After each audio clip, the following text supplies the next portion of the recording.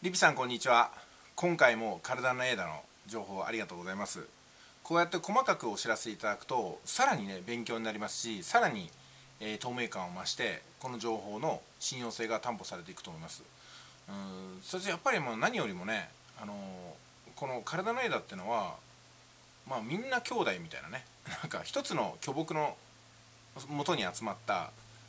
なんかその癒しっていうんですかね。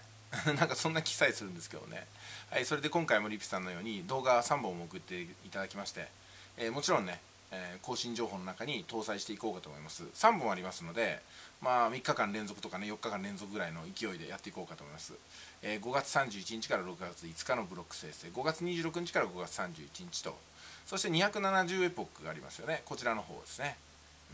うん、いや本当にお疲れ様です。ここまで